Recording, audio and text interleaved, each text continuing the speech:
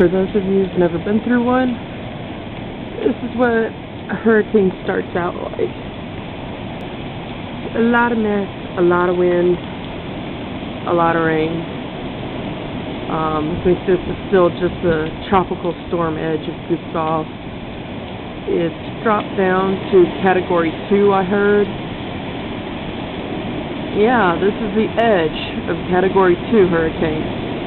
So can you just imagine what the people in New Orleans went through with Katrina at category 5, I think it was.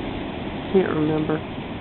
Anyway, we're still hoping it'll drop down to 1. It's no big deal. That is a country. Those are the worst culprits, as you can see, for dropping branches and some a lot bigger than that, uh, can end up with houses smashed in from them, from those. Alright, more later. We, oh, we still haven't lost power yet, but that's inevitable. Take care, everyone.